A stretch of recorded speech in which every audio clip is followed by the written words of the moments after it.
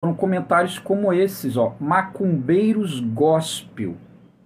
Ou seja, olha o indiano emo. Esse aí é o, o cruzado paladino, defensor, né? Defensor da santidade, da castidade, é um emo. é um emo, né? E aí dizendo que vai chegar a minha hora, que já já chega a notícia, ou seja, é um macumbeiro gospel. Então essa é a grande, eu sou batista tradicional, eu sigo é, as bases históricas da igreja protestante.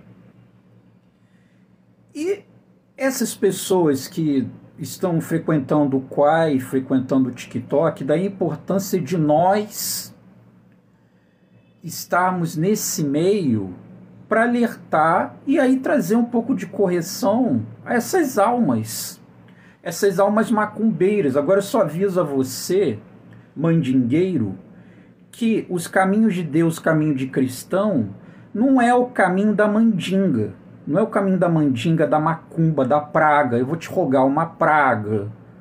Não. É o caminho do perdão, do dar a outra face, do sacrificar pelo teu irmão, carregar o fardo um dos outros. Essa é a lei de Cristo. Carregai os fardos um dos outros. Não é rogar praga, mandingueiro, macumbeiro. Você está na via errada. A via que você tem que seguir é da Umbanda.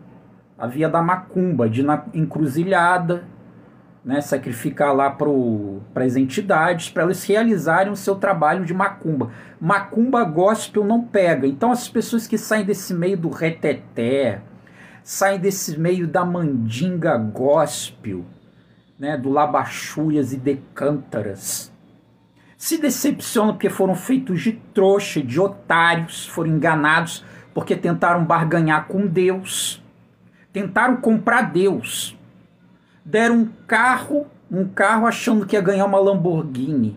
Deram a casa dele, o kitnet dele, achando que ia ganhar uma mansão. Trouxas, otários, que saíram desse meio neopeteca. Se desiludiram e aí saíram de lá, viraram desigrejados e mandi continuaram mandingueiros. Então, Deus não é um Deus vingativo, Deus não é um Deus de mandinga, Deus é um Deus de graça, Deus é um Deus de perdão, Deus é um Deus de misericórdia, de oferecer outra face, entendeu, mandingueiro emo? Deus não é um deusinho emo, um Deus que é, roga pragas nas pessoas, tá? Deus não roga praga não, cara. Você está no caminho errado procura lá a esquina lá, pega uma galinha preta, umas vela vermelha lá, umas farinha, coloca lá, mistura umas farofa lá e faz os seus trabalhos ritualísticos. Você pode até alcançar mais sucesso do que realizar mandinga gospel. Mandinga gospel não vai resolver teu problema, tu tá, tu tá na via errada.